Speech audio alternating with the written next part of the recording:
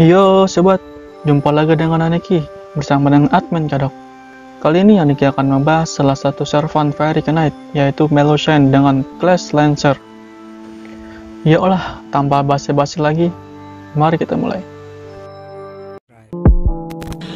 Monkey.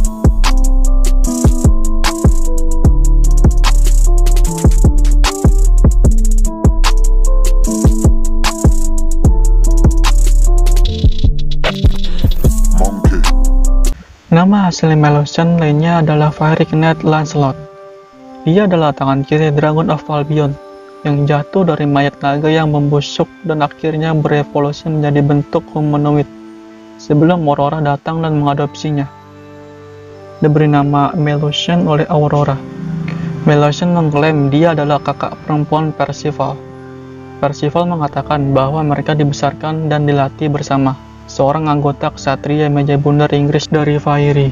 Dia adalah ksatria peri dengan nama Lancelot, roh pahlawan yang termasuk dalam ksatria meja bundar sejarah manusia. Satu-satunya peri spesies naga di Inggris. Dia bertindak dengan cara seorang ksatria tanpa ampun. Tetapi karena perilaku itu, keanggunannya dan penampilannya yang membedakannya dari peri lain. Dia dikatakan sebagai yang paling elegan dan paling cantik dari mereka semua. Namanya sebagai peri adalah Melusine, peri yang ditransmisikan di Perancis. Juga disebut Melisande. Tokoh utama dari cerita tentang perkawinan manusia dan hewan, yang sering menjadi tema cerita rakyat sejak zaman kuno. Kecantikannya setengah manusia, setengah peri, dan memiliki tubuh bagian bawah seperti sayap ular dan naga. Peri yang lahir dari ayah manusia dan ibu peri, awalnya seorang gadis muda yang cantik, tetapi karena melakukan dosa mengurung ayahnya di sebuah gua, dia menerima kutukan yang mengubah tubuh bagian bawahnya menjadi ular hanya pada hari Sabtu. Seharusnya kutukan itu menjadi lebih kuat setelah dia dilihat oleh kekasihnya. Ketika tubuh bagian bawahnya berubah menjadi ular, menjadikan Melusian sendiri ular yang menjijikan. Kepribadiannya menarik, aktif, tipe orang yang menyelesaikan sesuatu dengan cepat, menjalankan tugasnya sambil menyembunyikan perasaannya.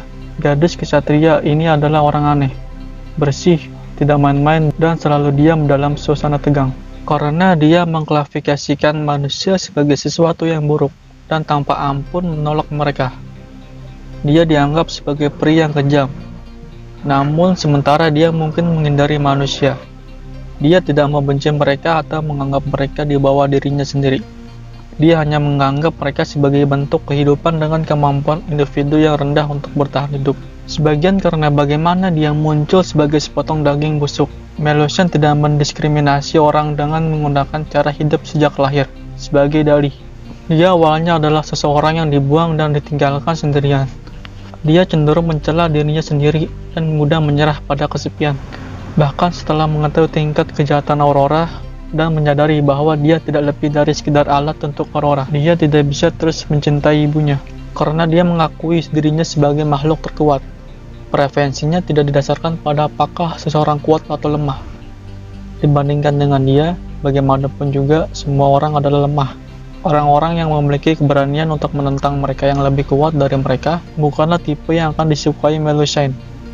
Tetapi orang-orang dengan kebaikan untuk merawat mereka yang lebih lemah dari mereka. Atau lebih tepatnya, dia akan menjilat mereka dengan mengatakan, yang kuat harus dibatuhi dan diikuti. Itu mutlak.